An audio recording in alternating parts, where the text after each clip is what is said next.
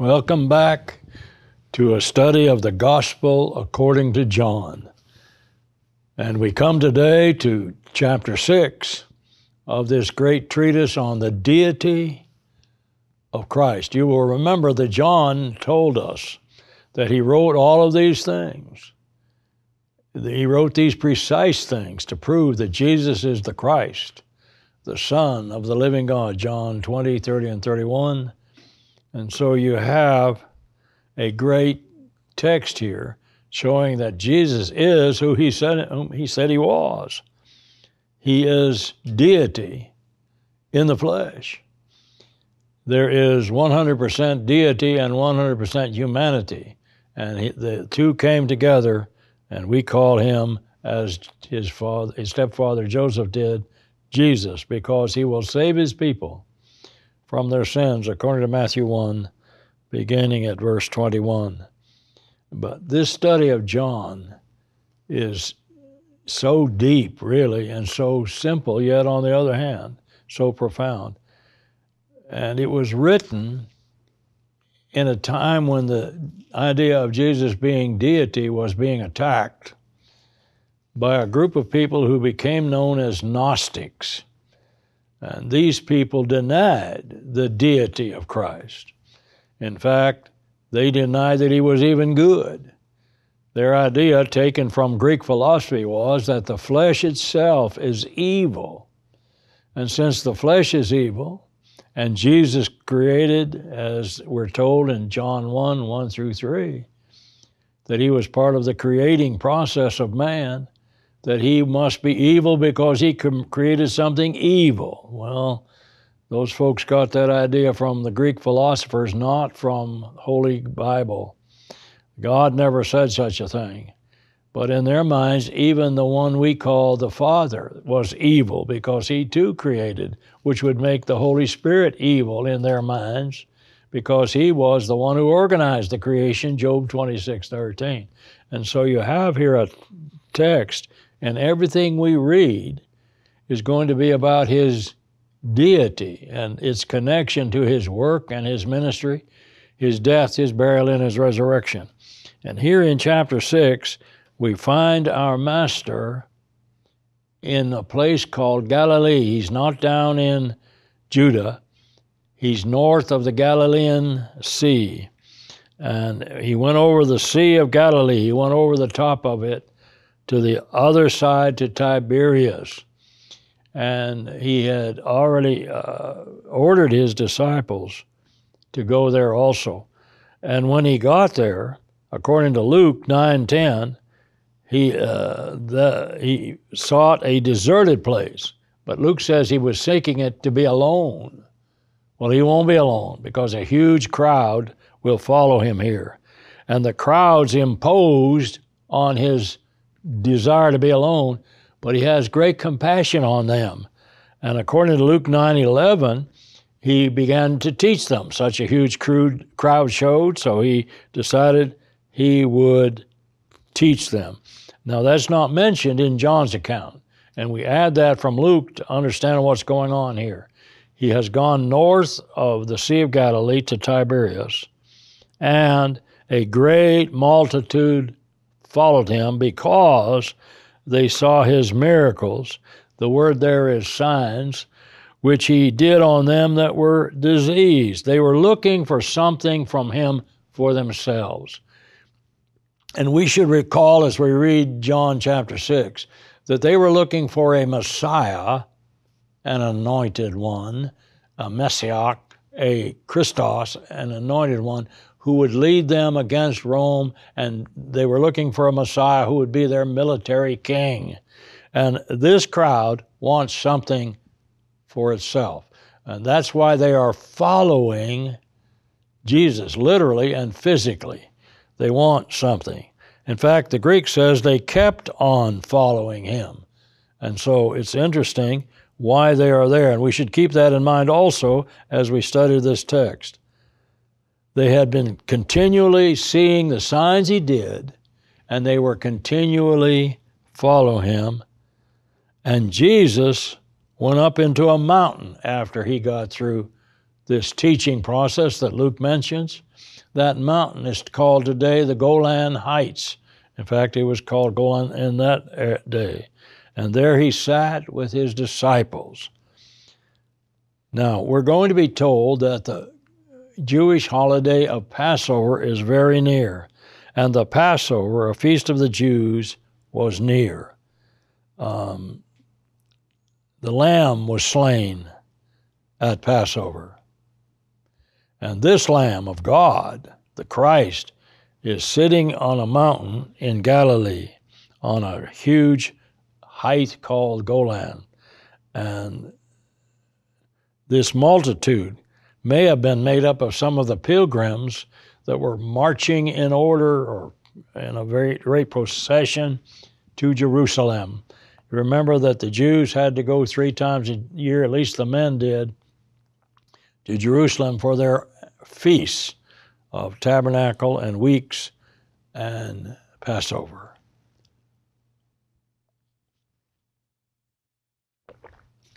And now, when Jesus sees this huge crowd, and they were now coming to him,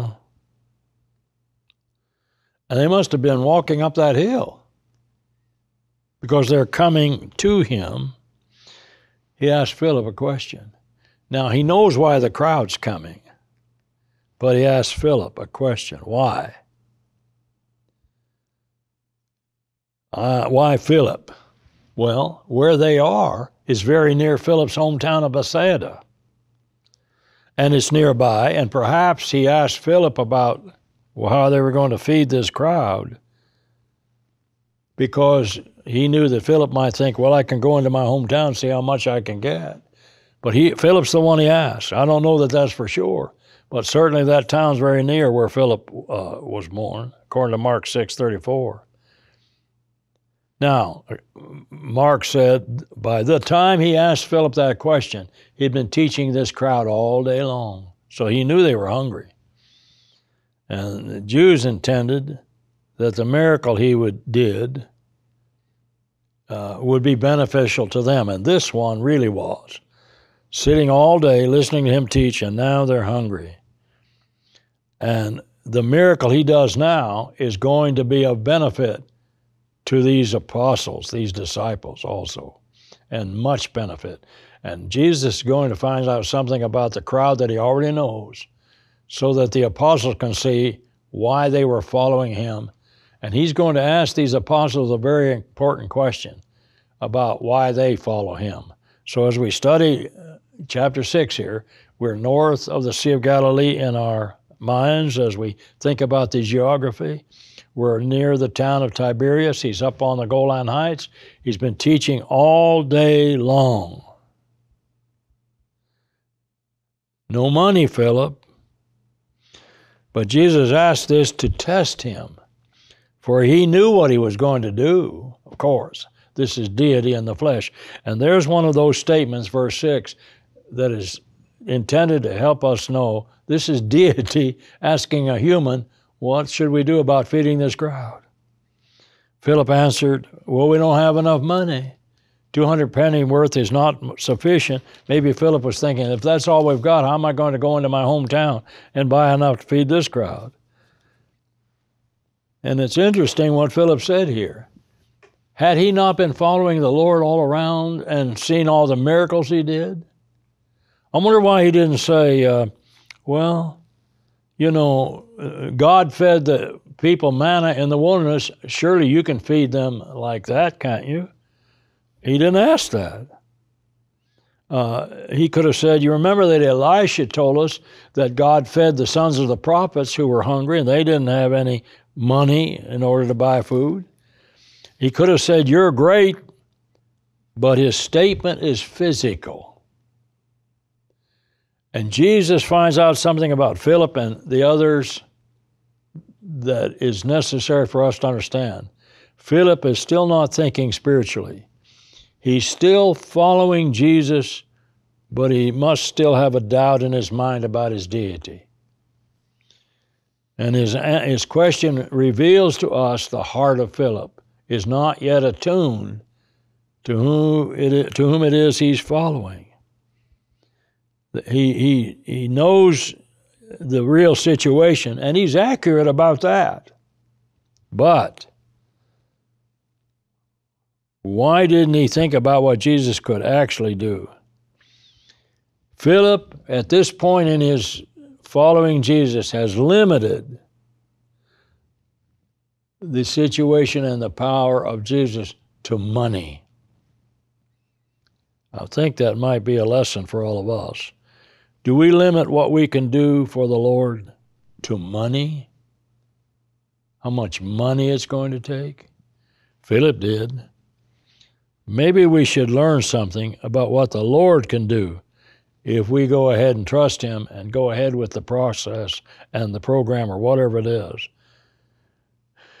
One of his disciples, and here's Andrew. You remember that Andrew brought his brother Peter to the Lord. Watch what he does again. We read about Andrew again, and he's already bringing somebody else to the Lord, a little boy, a lad, the Bible says. There's a lad, a little boy in the original language. He's got five barley loaves. Why did the Holy Spirit tell us barley loaves? Oh, that's the cheapest lunch. uh, that barley loaf was the cheapest bread, uh, not a very good one. He was, he was very poor.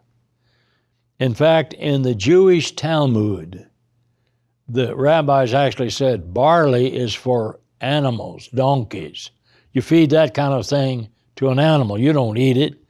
This boy is so poor that all he can afford for lunch is five barley, barley loaves and some fish to make a sandwich, and two small.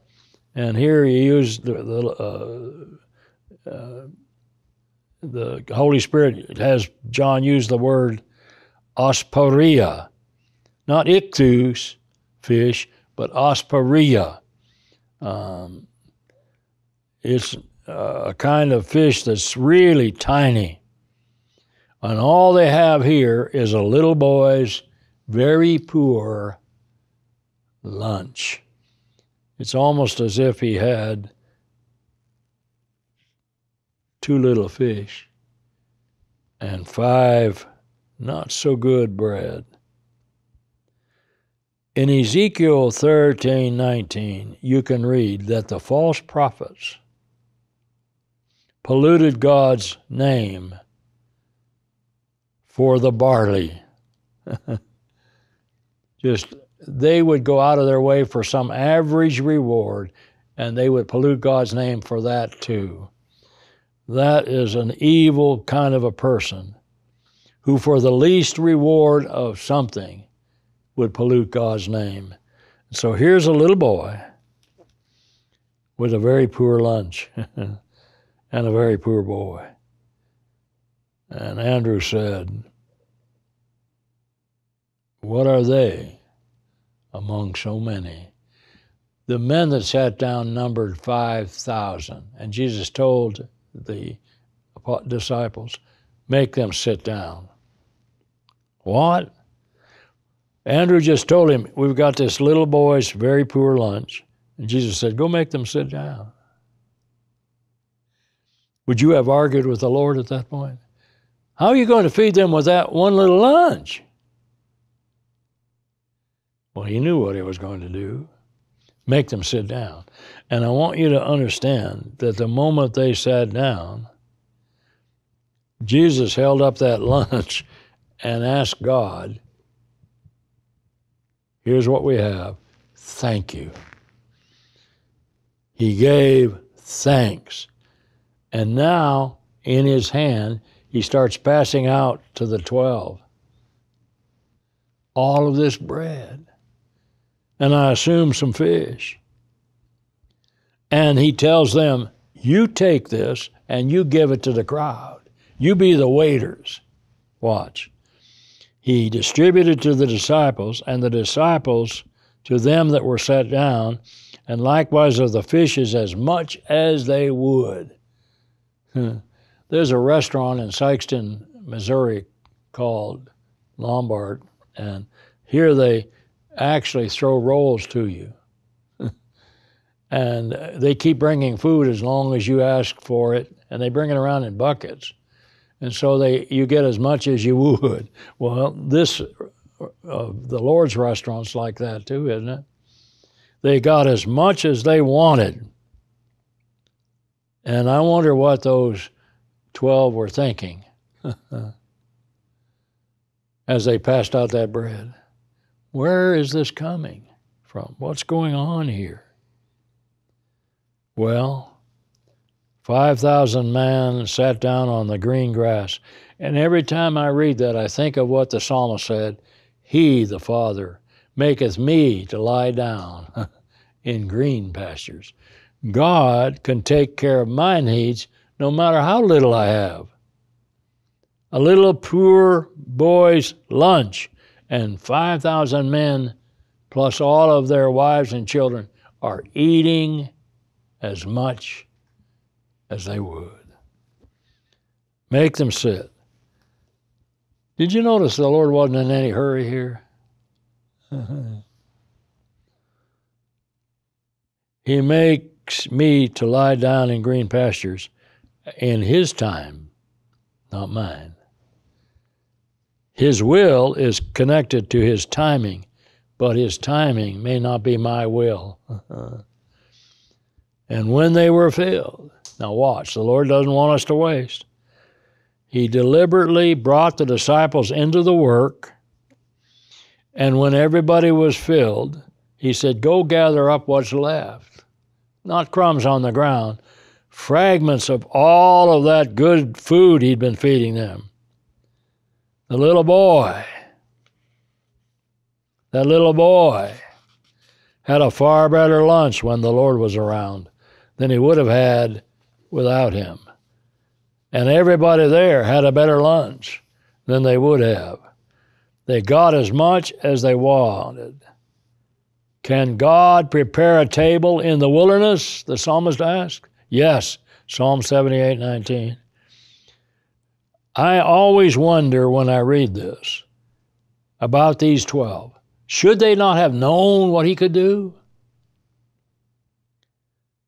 How quickly God's people forget what He can do. Therefore, they gathered them together and filled 12 baskets. Look at that. With the fragments of what? The five barley loaves, which remained over and above unto them that had eaten. Now, they have their bellies filled. After lunch conversation, and they still don't understand who he is. Watch. Then those men, when they had seen the miracle that Jesus had said, This is of a truth that prophet. Well, they knew something about their Bible anyway, because Moses in the long ago had written that of your own selves shall God raise up a prophet like unto me. Deuteronomy 18, 15. And so they, they think maybe he's that prophet, but the Messiah they wanted. This guy is not a military king, but he may be a, one of God's prophets. And that's as far as they could get in their thinking. This is that prophet. Uh, Jesus knew their real thoughts. When Jesus therefore perceived that they would come and take him by force to make him a king, he might be that prophet, but let's make him our Messiah if he can do that kind of thing. We want a king. That's physically speaking. We want somebody to go against the Roman Empire. Even just before he ascended into heaven, the disciples asked him, Wilt thou at this time restore the kingdom to Israel? Acts 1 6. They still didn't have it. Herod Antipas was the king in Galilee at this time under Rome, but they wanted an earthly kingdom. That's the devil's temptation. He told the Lord, If you bow down to me, I'll give you the kingdoms of the world. They sat down at lunch ate all they wanted, and still said to, in their minds, Let's make him our king. Let us make him our king. Therefore, he can do our bidding. No, we don't talk to the Lord that way. They still did not understand, and he knows it. And that's where this sermon about him and taking part totally in him starts with that thought that he knows they're nothing but worldly people. They got fed, they saw the miracle, and they want in on it. I actually heard a brother in Christ say, say with his own lips one day, well, after all, the only reason we're Christians is that we can go to heaven. The only reason we're Christians is to go to heaven. That's the statement the crowd is making. The only reason we follow him is there's something in it for me. There's a reward for me.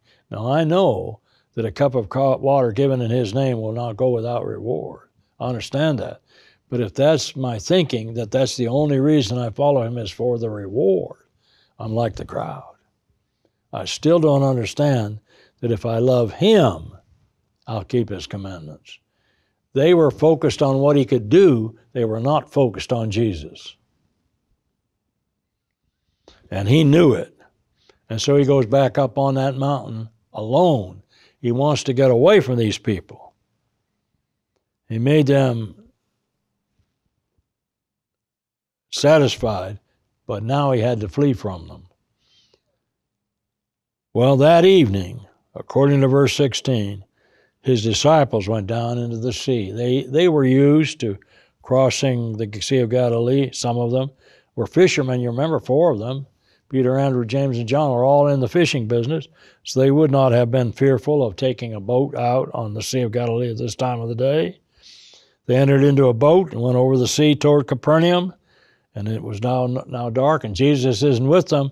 He's gone up on that mountain alone, he's by himself. He could see from up there what was going on, I'm sure. It's already dark. Uh, they had been a, in a storm with him before, you remember and they got fearful, but uh, he woke up and said, Peace be still, told the storm to stop, Matthew 8 24. Well, this time, again, there's a huge storm. Galilee is a shallow sea, a shallow lake. It sits 600 feet below sea level in a cup like depression. You have to go downhill everywhere to get on the Sea of Galilee. And when the wind starts coming down, that shallow sea just boils. And they are headed into the wind in the direction they're going.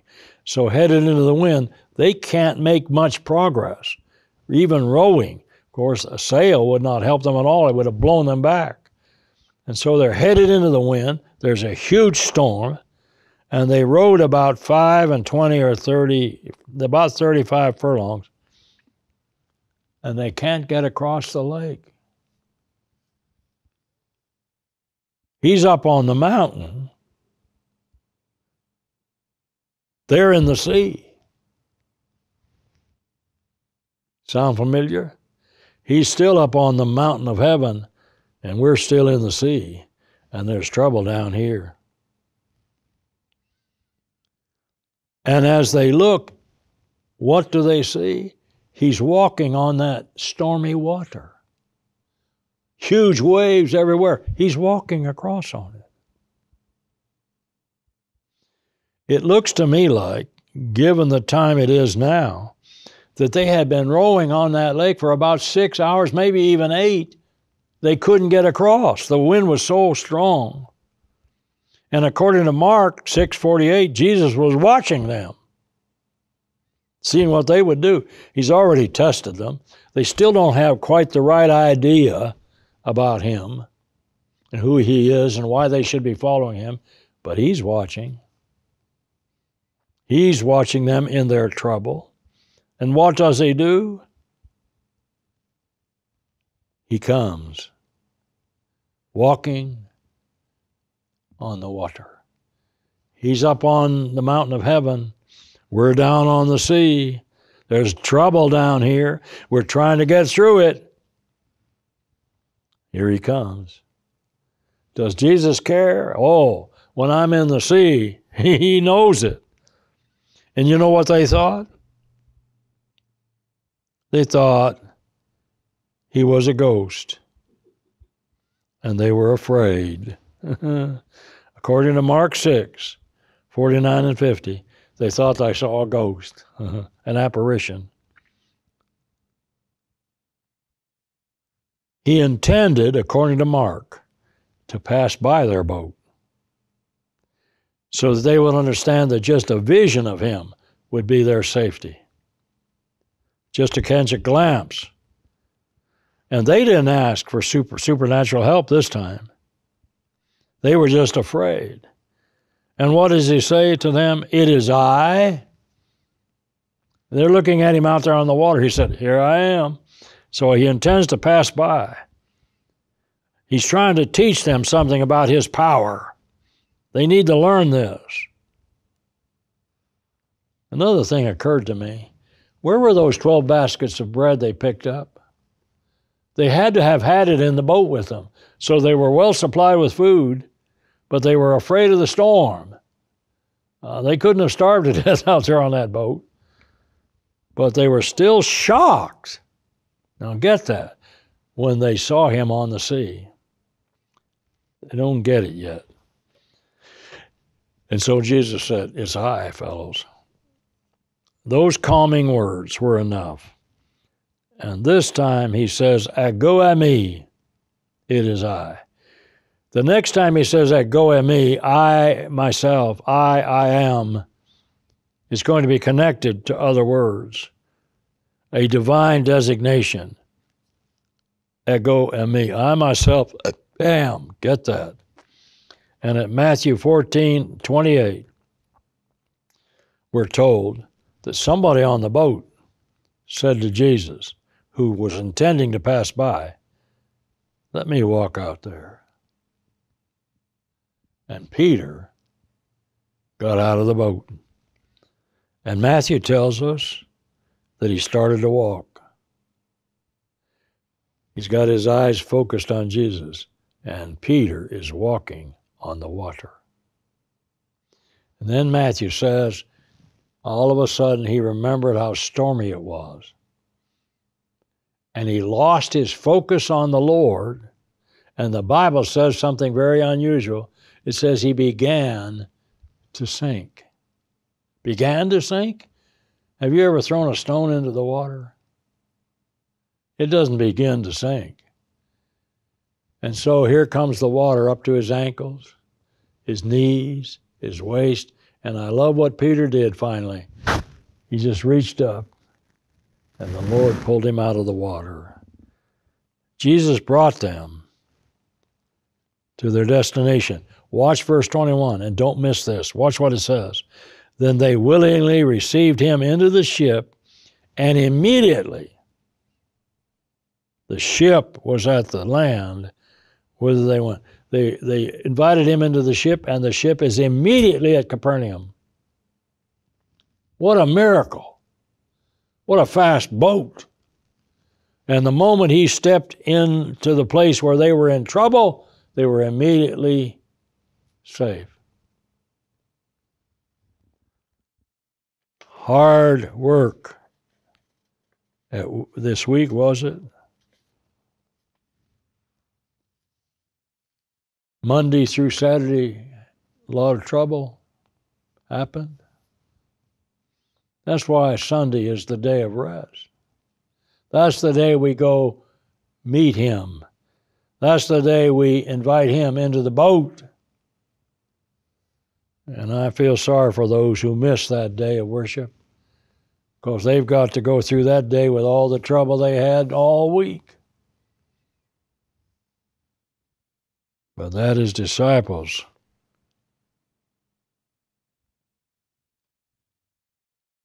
They were at rest. The day following, now the next day, When the people which stood on the other side of the sea saw that there was none other boat there, save that one whereunto his disciples were entered, and that Jesus went not with his disciples into the boat, but that his disciples were gone away alone. However, there came other boats from Tiberias nigh unto the place where they did eat bread after the Lord had given thanks. When the people therefore saw that Jesus was not there, neither his disciples, they took shipping and came to Capernaum looking for Jesus. And when they had found him on that other side of the sea, they said unto him, Master, how did you get here? Well, he didn't tell them he walked over the sea. the crowd find, found him. Must have been a lot of boats from Tiberias, or not that entire five or six thousand people didn't come uh, at this time, but a crowd found him. And verily I say unto you, you seek, he's not interested in answering their question here. He's interested in their souls. And he said, You didn't come over here to find me particularly. You came over here because of a physical idea. You saw the miracle, you were fed, you were filled, and you didn't really want me you wanted something for you. And he tells them straight out don't work for the food which perishes. You work for that food. Now, he's going to reference himself as food, keep that in mind, which endures unto everlasting life, which the Son of Man shall give unto you, for him hath God the Father sealed.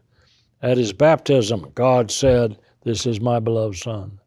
At the Transfiguration, God said, This is my beloved Son, hear ye him. God had already set his seal. He had guaranteed him as the Christ, and he had guaranteed him as the Christ of the world.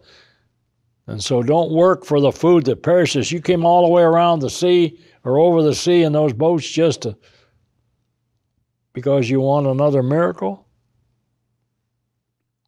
Then they said unto him, Now they got the, what he said all right. You have to work for the food that doesn't perish. But they said, What's the work of God? What do we do to work the work of God? God guaranteed me you have to work for the food that doesn't perish. And he said, Here is the work of God, that ye believe on him whom he has sent. The work of God is faith. Yes, faith is a work in and of itself. It's God's work, not ours. It's something God does; it demands, not what we have to do out of our own thinking. It's not our work, it's His. Just as repentance is not our work, it's what He commanded. Just as confession of Christ before we are baptized is necessary. That's His work. Baptism is His work. And so salvation is not of works, ours. It's out of God's work. That's why Peter said, I perceive that in every nation he that feareth God and worketh righteousness is accepted of him. Acts 10 34 and 35. Now, he told them exactly what to do to trust him. And they said, What miracle can you show? that we may see and believe thee. What do you work? What? You sat down yesterday and were fed from a little boy's lunch, and you want another sign before you believe?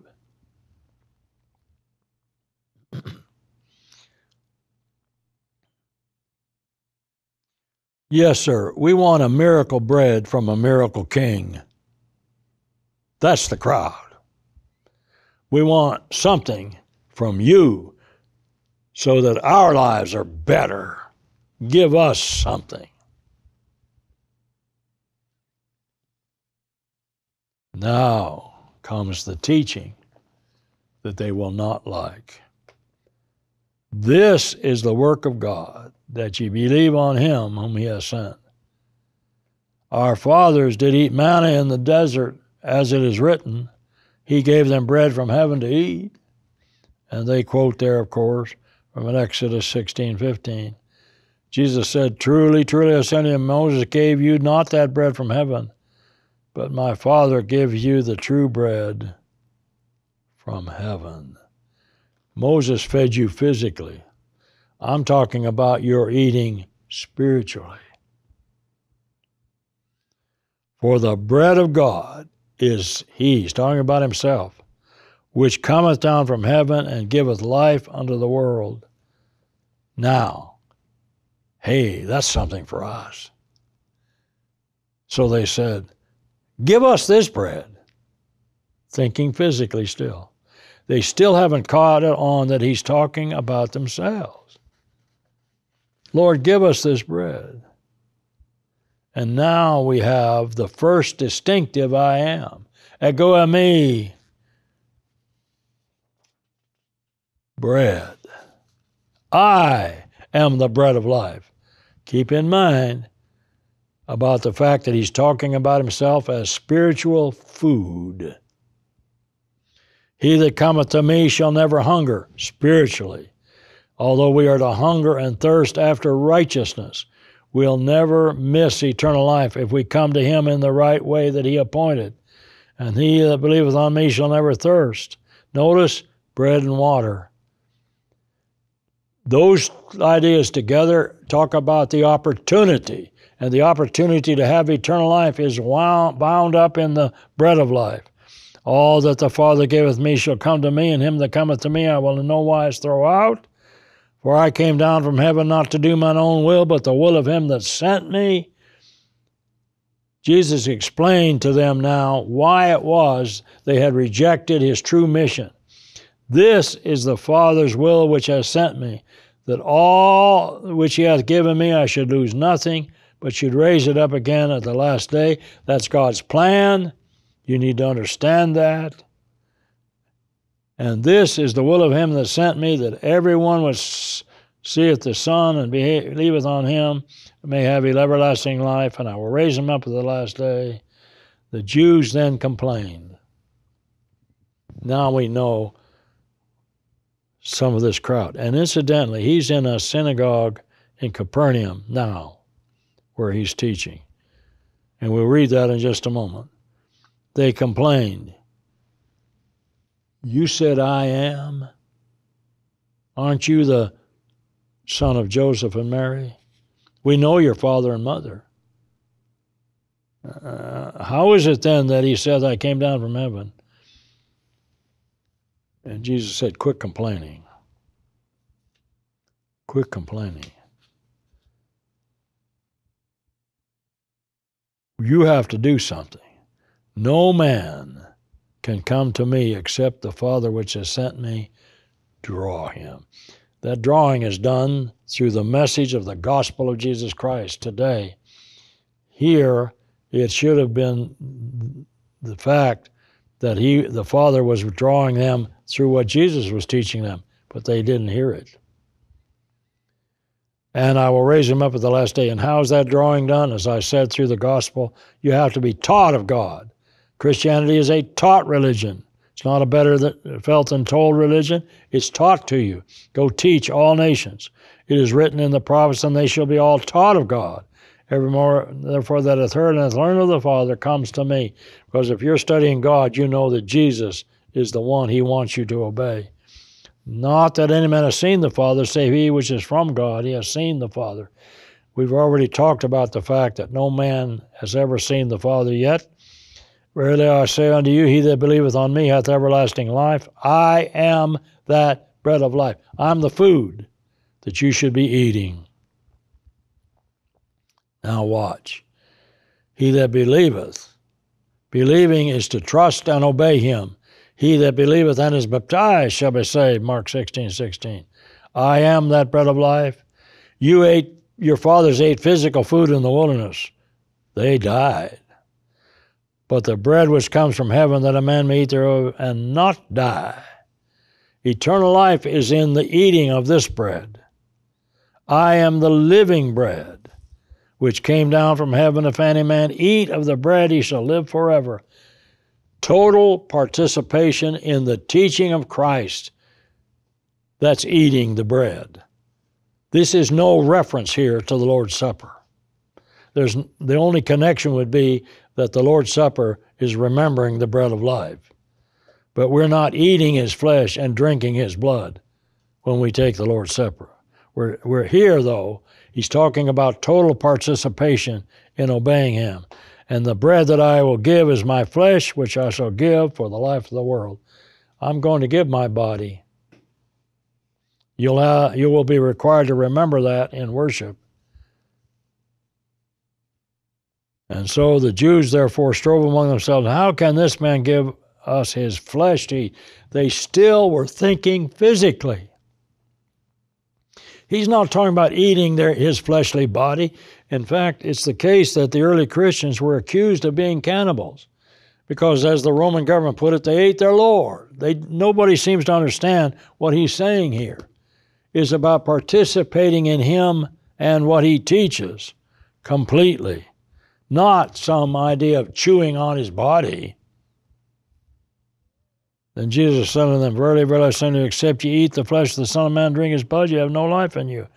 Whoso eateth my flesh and drinketh my blood hath eternal life, and I will raise him up at the last day. How do I do that? I obey what he said when he walked out of that tomb in that body. And the only way to get into his body, the church of Christ, is through baptism. Acts 2:47. For my flesh is food indeed and my blood is drink indeed. Total participation in the Christ is absolutely necessary to eternal life the one whose flesh is deity, said, You must feed on me. And the one who feeds on him believes what he taught and obeys him. Drop down to verse 63, and we'll come back to verse 56 in a moment. It is the Spirit that makes alive. That's the Holy Spirit. The flesh profits nothing. You want to know how to eat his flesh and drink his blood? Watch. The words that I speak unto you, they are spirit and they are life. You want to eat the flesh and drink the blood of Christ, you're going to have to obey his words. You're going to have to do what he told you. And the only way to contact that blood is stated clearly in the Bible.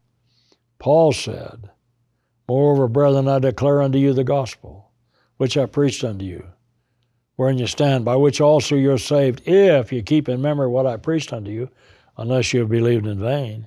For I delivered unto you, keep, underline that word delivered, I delivered unto you that which I also received.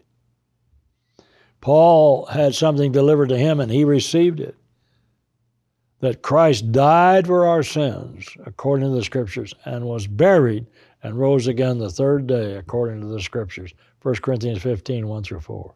Paul said, I delivered you a message about the death, burial, and resurrection.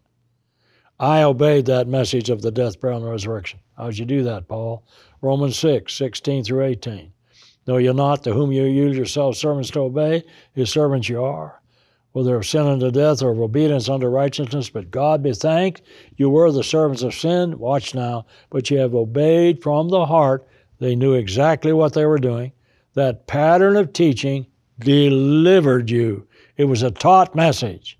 And being then made when? When they obeyed from the heart, the pattern of teaching delivered. Being then made free from sin, they became the servants of righteousness. Well, how do you obey the pattern of teaching, the death, the burial, and the resurrection? Listen to Romans 6 4. Do you not know that so many of us, as were baptized into Christ, were baptized into his death? That like as Christ was raised from the dead by the glory of the Father, we also should walk in newness of life. They obeyed the death by being buried in water, and they were raised so they had a death to self, a burial in water, and a resurrection to walk in newness of life. And God at that point took away all of their past sins because they had obeyed from the heart, the mind, a pattern of teaching. What was it? Death, burial, and resurrection. That's how you feed on the Christ. That's how you have total participation in His blood and in His flesh. And Jesus said, The living Father sent me, so that he that is me, even he shall live by me. This is the bread.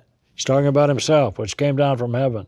And it takes total participation in Him, a total immersion of the body into Him in order to have eternal life. And he that eateth of this bread shall live forever. Now he's in the synagogue, and watch what happens when the crowd hears this. They said, This is a hard, impossible for us to obey this. We can't believe that you're the only bread of life. Surely there are other avenues. I mean, everybody's trying to get to heaven. We're just going by different roads. Oh, no. And this is a hard saying. Who can hear it?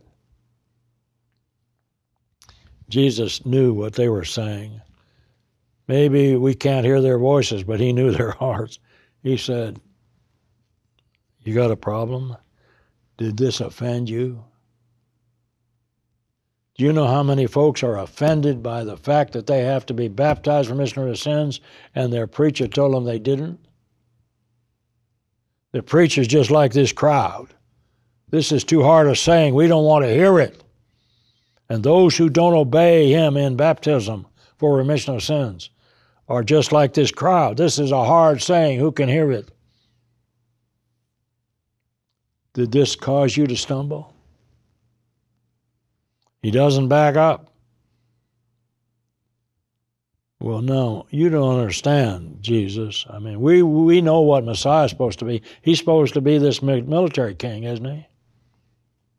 And you're telling us that you came on a spiritual mission? We don't want to hear that. They came across the Sea of Galilee for something for themselves. And they didn't get what they wanted.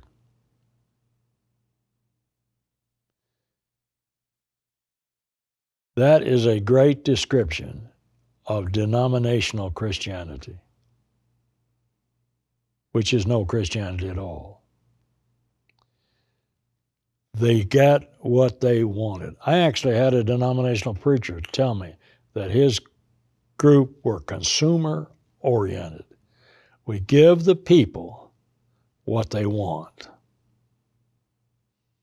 And anything else is too hard a saying. Did this offend you? Is there some kind of a scandal you're hearing? And then he says, What if you see the Son of Man up send up where he was before? He knew he was going back to heaven. That's Acts 1 10 and 11, which actually happened.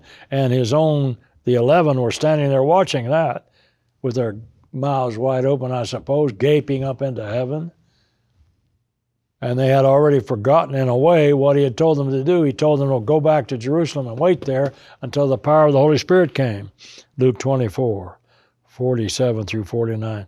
Here they were standing there watching him go up into heaven. They saw it. This crowd didn't. Why? They didn't believe him.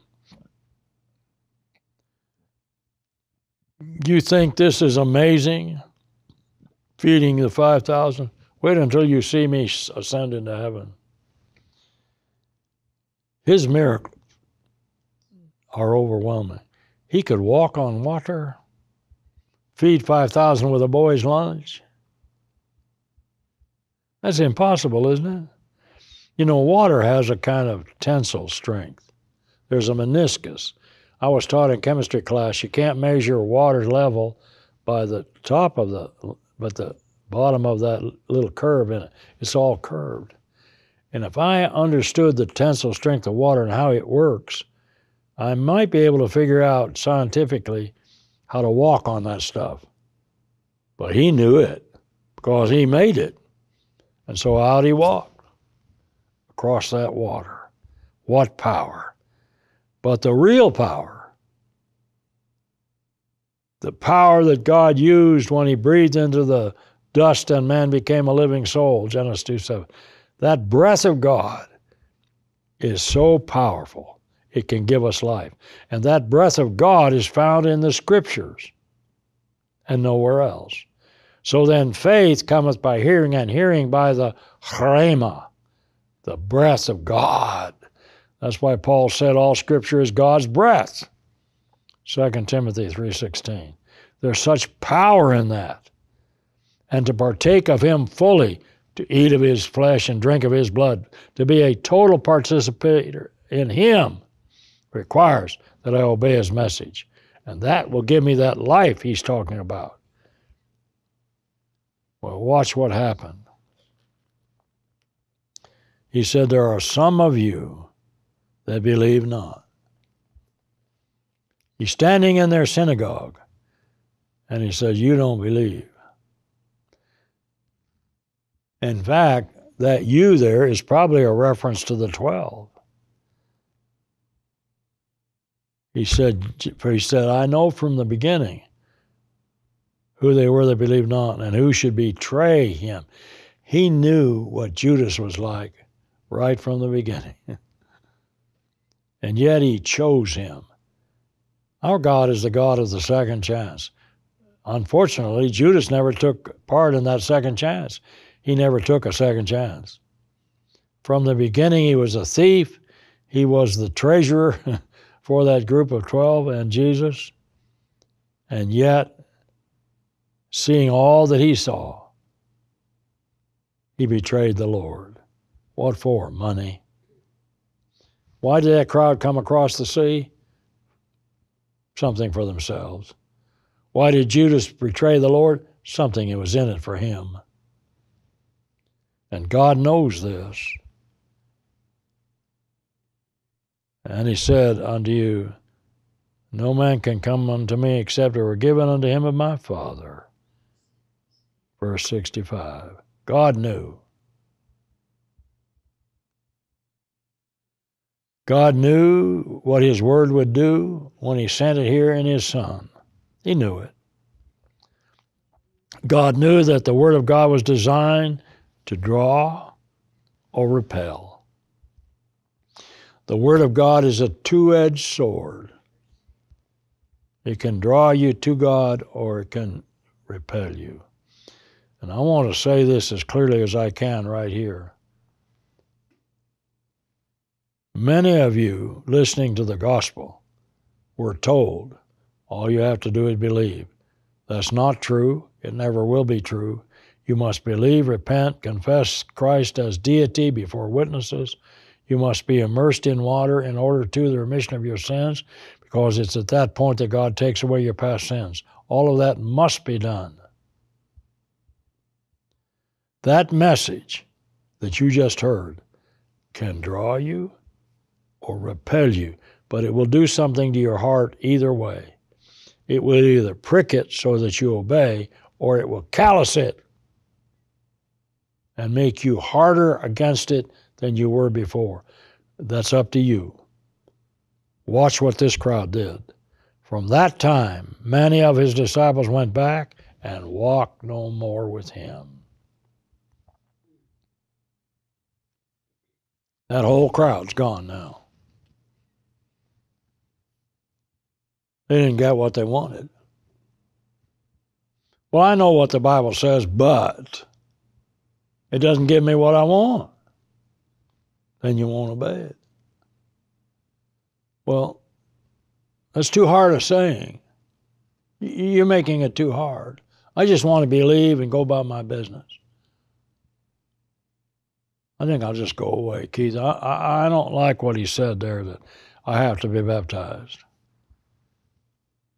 I don't like it that I'm going to have to give up certain things. I mean, if I become a Christian, I can't go to the gambling joint anymore. I don't think I can give that up. If I become a Christian, I'll have to quit going to the bar. Mm, I don't know if I want to give that's too hard a saying. You know, if I become a Christian, I, I can't be married to this woman with whom I'm now married legally because we're living in adultery. Both of us were married before, and this is too hard a saying, Keith. We just we're just going to go away. Mm, you know, if I obey the gospel like you say it's written, no, not like I say it. Well, Keith, if I obey the gospel, that means my parents are lost. They didn't obey the gospel. It's too hard. I'm just going to go away. From that time, many of his disciples, disciples went back and walked no more with him. And poignantly and sadly, he turned around and he looked at the 12. He's looking at me right now, asking me the same question. And he's asking you, will you also go away? Is Christianity too hard for you? Sometimes you have to give up your own physical family to be a Christian. Paul had to give up Judaism, power, political power, preeminence. And he said later, that's all a dung heap as far as I'm concerned. Philippians 3 8 and 9. Wow. You have to give up something to be a Christian. You have to count the cost. Might have to give up your life. Is that too hard? Are you also going away? Total participation in the Christ. Eat his flesh, drink his blood. Too hard for them because they wanted the physical food. And it's too hard for many today.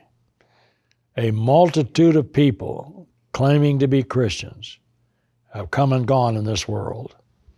They've come and gone in Catholicism. They've come and gone in Protestantism. They've come and gone in Judaism. They've come and gone in Islam. And they've gone away from the Christ. And we have to go to Him to have eternal life. And so the 12 are asked, Are you going to go away? Peter answered, Lord, I like that. To whom shall we go? Thou hast the words of eternal life. Living below in this old sinful world, hardly a comfort can afford. Striving alone to face temptation sore, where could I go but to the Lord? Where could I go? Where could I go? Seeking a refuge for my soul, needing a friend to save me in the end. Where could I go but to the Lord? And watch what Peter says. And we are, believe and are sure that thou art Messiah, deity, the Holy One of God. We believe it. Now Jesus tests them again. And it's interesting what he did here. He's testing the 12 again. Well, you believe I'm deity, but I chose all of you, and one of you's the devil. Am I still your deity? He spake of Judas Iscariot, the son of Simon, for he it was that should betray him, being one of the twelve. Next time, we'll start chapter 7 in this great account of the deity of Christ.